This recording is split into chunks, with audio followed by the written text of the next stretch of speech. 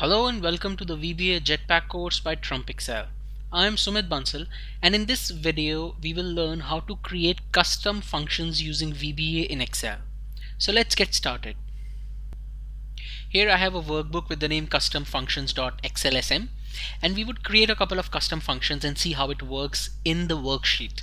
So let me press Alt F11 to go to the VB editor and here I've already inserted a module which is module 1.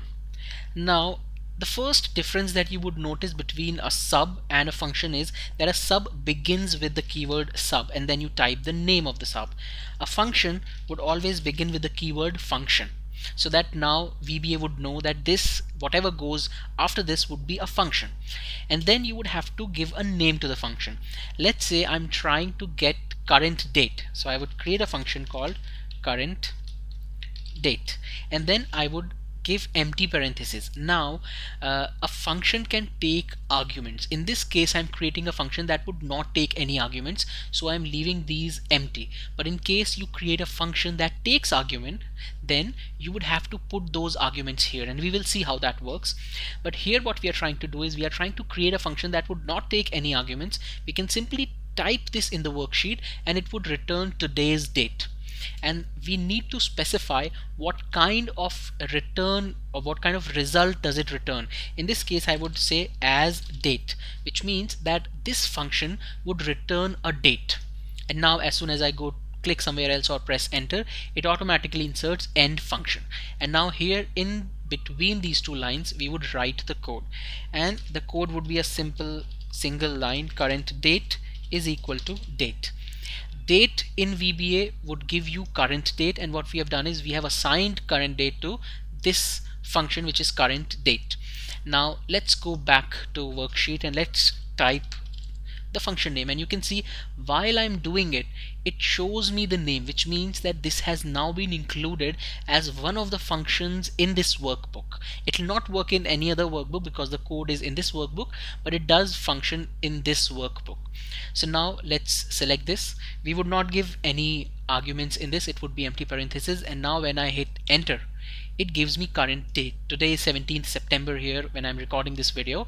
And this returns current date now let's see what happens when you can give an argument. So let me delete this. Let me press alt F11 and let's delete this. Now let's or let me keep this as it is. Let's create a new function. So I would say function. And this time I would want to return current month. So I would say current month. And here I would need to input the date. And let's say uh, let's not call this current month. Let's call this input month. And here what I would do is I would take a date as input and then I would return the month value for that date which means that if I enter say 1st January 2015 then this would return 1 if I enter 1st February then this would return 2 and so on. So I would have to mention what argument it can take and let the argument name be input date and that argument would be of a data type which would be date. And I, I need to mention this because if I don't mention this then it can take any uh, input here. I can type my name and it will take it as an input. So I need to type this so that it would identify that there is is a problem in the kind uh, there is a data mismatch and then it would take the right kind of data. And here I would simply say as integer because this function would return a value ranging between 1 to 12 so I've taken integer here. Now let me press enter. It inserts end function automatically. And now I would type the name. Input month is equal to month. And then we would say input date. Now let's go back and see how this works what first I need to do is I would need to enter a date somewhere. Let's say the date is 1 1 2015 and now I would use this function here. So I would say input and as I'm typing you can see that it shows me this function. And it will not show me any help. Otherwise there are tooltips that guide you uh, what to enter and, and what is the number of arguments that can be taken is it optional or not. In this case it would not. And now I need to enter the date here. So let's say I take this date as the input. And now when I hit enter it returns 1 let's again check this. I come here and I change this to 2 and this becomes 2 which means that this function is working fine. So this is how you can create a function which either takes no arguments or it can take a couple of arguments. Now you can also call functions from other subs or functions. So let's say I am creating a subroutine to add a worksheet. So I will call it add worksheet.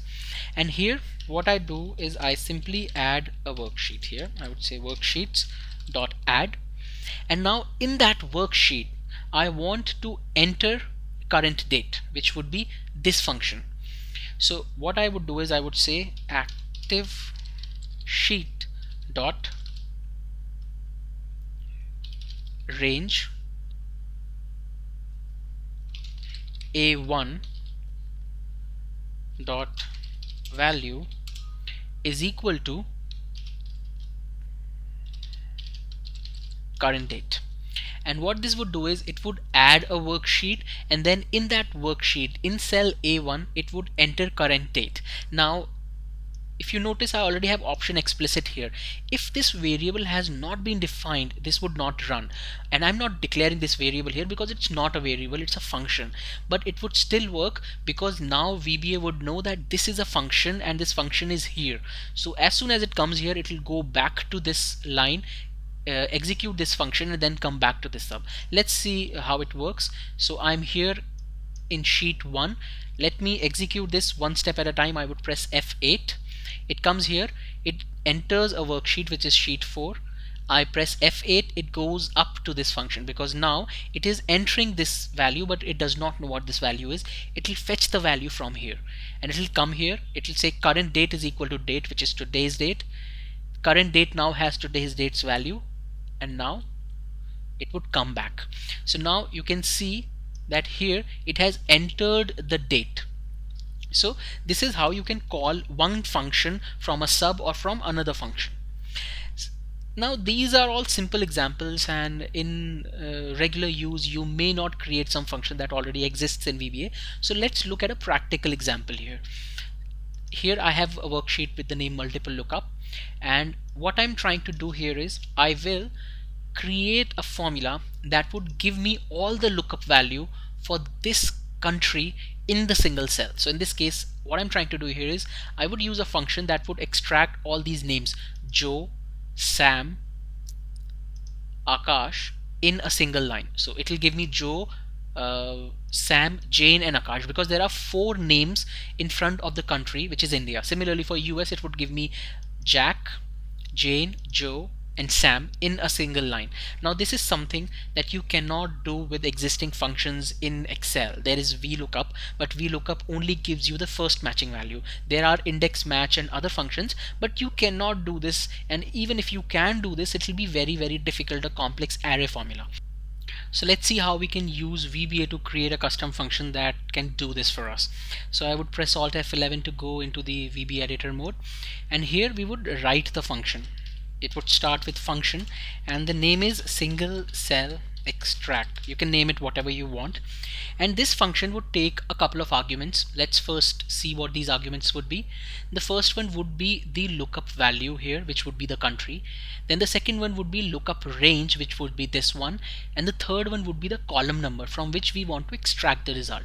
I've taken these arguments which are exactly same as uh, the one in VLOOKUP except the last one where it is true or false uh, and these arguments would be the lookup value the lookup range and the column number. So let's start writing the code.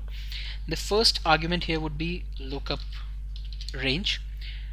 Sorry lookup value. Value. And this would be a string. In this case I have mentioned this as string because all these are strings. In case you think that these could be numbers or alphanumeric or something else then uh, you can either leave it out or you can mention the correct data type. I'm taking string here then the second argument is lookup range. And this would be a range type because I would be selecting this entire range of cells and provide this as lookup range. So now since it's a range I would have to declare it as uh, a range object. And the third one would be column number. And this would be an integer in this case I know that column number would be 2 but again you can uh, have a bigger data set and you can specify the column number. So in case you had say many other uh, columns here and then sales rep was say the fifth column then you could use 5 as the column number and still get the right result. So let me get, go to the full screen mode. And now when I hit enter it enters end sub automatically. And here I would have to declare a couple of variables. The first one would be i as integer I would be using this variable i while I go through the loop and the second one would be result as string. And result is where we would store the final result it would, which would be all the names uh, uh, together in a single cell.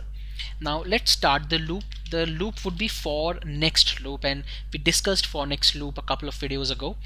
And here I would say if i is equal to 1 2 lookup range dot rows dot count. Now what this does is it would give me the count of rows here. In this range there are 16 rows and this would give me the count of it. So my loop would run from 1 to 16 so that it would go for each it would analyze each cell and go down one at a time and go through all the rows. So here I would use lookup range dot rows dot count and then I would use the if condition and I would say if lookup range dot cells. And here I would say i comma 1 is equal to lookup value then. Now let's go through this line first. Here what we are checking is if lookup range dot cells i comma 1 which means that when the loop runs it would analyze each cell one at a time. In this case i is 1 so this would be cells 1 1 which would be this cell. And if this is look equal to the lookup value then extract this name. Else move on. So here we would type the then condition which would be result is equal to result and lookup range dot cells i comma column number. So this would be the result. And what we are doing here is say we are using India as the lookup value. It goes here it checks each cell. It comes here and it knows that this is the right lookup value. Then it would pick up Joe. Why? Because we are saying result is equal to result. And lookup range dot cells i comma column number. And column number would be 2 so here it would be going through these and picking up these names. Now it would pick up this name. Then again when the loop runs it comes to US which is not the lookup value in this case. It would leave it out come here. And when it again comes to India and and checks here it would pick up Sam. So it would pick up Joe and then it would pick up Sam and then it, it would pick up Jane and then Akash and then it would get out of the loop. So this is how we are picking up these names for the right lookup value and now I would come here and I would say end if and then finally we would have next i. So we have created the loop and within loop we have the condition that is picking up the, uh, the right stuff. What we need to do is we need to assign the final result to this function because this is what it would return. So I would here come and say single cell extract is equal to result. And then we have end function. So we have created our function. Now let's see how it performs there in the worksheet. So I would come here and I would type single cell extract. And in this case I don't have any help menu. So I would have to know what arguments I need to put in. The first one was the lookup value which is this India the second one was, was the lookup range. So I would select this entire range. I would press F4 to lock it. And then third one was the column number because I want to extract the names from here. And now when I hit enter, it gives me Joe, Sam, Jane and Akash. But the problem here is there is no separator, there is no space, nothing but all I know is that this uh, this formula actually works. So let me double click here and I know that this formula is working. It's giving me the right result. Now it's just the cosmetic changes where I need to introduce spaces. And that would happen in this line. Because here I am I'm extracting the result and then I'm joining all these values. So here what I would do is I would say result and I would introduce a space here. And and in the end I would add comma here. Now let's see what happens. I close this and now I hit F2 and it does this the right thing. It is giving me comma and it, it is giving me a space as separator. Now everything is fine except the fact that in this result I also have an additional comma in the end and I don't want this. I have uh, these names but uh, it should end here after Akash or after Sam. There shouldn't be this comma here. So to tackle that what all we need to do is we need to come here and we know how many characters are there in this result. We can find it out using the left function or the len function and then we would simply deduct one character from the right. So to do that we would use the left formula. And these are inbuilt VBA formula. So these are also there in worksheet but these are also there in VBA so as soon as I type left you can see it says string and length. Now this is my string and the length here would be len result minus 1 which says that whatever is the result uh, subtract one character from it and give me the rest of it. So it would give me all the characters from the left except the last character. And now let's see if this works. I come here I press F2 and I hit enter and surely it does work. And now you have created a function that would take this lookup value and then return all these matching names in a single line separated by a comma and a space so congratulations, you have created the first real world custom function in VBA. Now one more thing that I want to cover in this video is what if you want to have some arguments as optional. So in this case, let's say I want this column number to be optional, which means that if I do not have a big range of cells, if I only have these two columns, I want this to automatically take 2 as the default value. But if that is not the case, then I can also specify the value. So what I would do is I here simply type optional column number as integer is equal to 2 and that's it. Oops, I need to type optional here. So it would be optional column number as integer is equal to 2.